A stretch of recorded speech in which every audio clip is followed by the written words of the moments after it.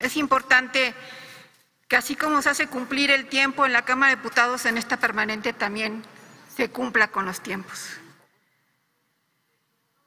Yo estoy de acuerdo en el resolutivo con motivo de que se desechen los puntos de acuerdo relacionados con el uso de las Fuerzas Armadas y el acuerdo publicado por el presidente de la República para que de manera permanente participen en tareas de seguridad pública.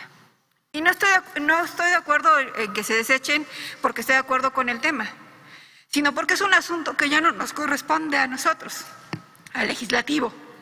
Es un asunto que pasó a ser tema de la Suprema Corte de Justicia de la Nación, porque justamente lo que generó la posibilidad de que se convierta en una discusión de la Suprema Corte de Justicia de la Nación es que la presidenta cumpliendo con las atribuciones que le da el reglamento de la Cámara de Diputados, presentó una controversia constitucional contra ese acuerdo. Y ese tema le corresponde ahora a la Suprema Corte de Justicia de la Nación resolverlo.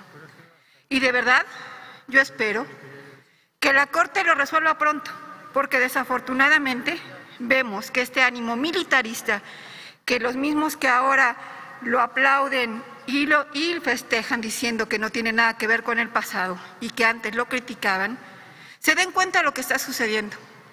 Porque este ánimo militarista, no del presidente, sino de las propias Fuerzas Armadas, lo estamos viendo ahora con el tema del control de los puertos y las aduanas, donde también están buscando tener atribuciones para hacerse no solamente de las tareas de seguridad que ya tienen, sino para hacerse del control administrativo de los puertos y las aduanas, que nada tiene que ver con combatir la corrupción ni garantizar la seguridad. Porque se están equivocando al dar facultades que van más allá de la Constitución y lo que es peor, no solamente van más allá de la Constitución, van más allá de este sexenio. Y espero que se den cuenta de ello. Y por eso espero que la Corte lo decida pronto. Vuelvo a insistir, la presidenta de la Cámara de Diputados tiene por reglamento las facultades para presentar una controversia como lo hizo.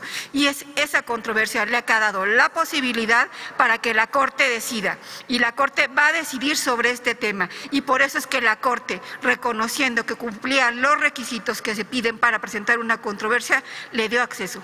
Es un tema un tema de nosotros. Y es por eso que hoy se desechan estos puntos de acuerdo. No porque sea un tema concluido, sino porque en ese tema todavía tiene que hablar la Constitución y la Suprema Corte de Justicia de la Nación.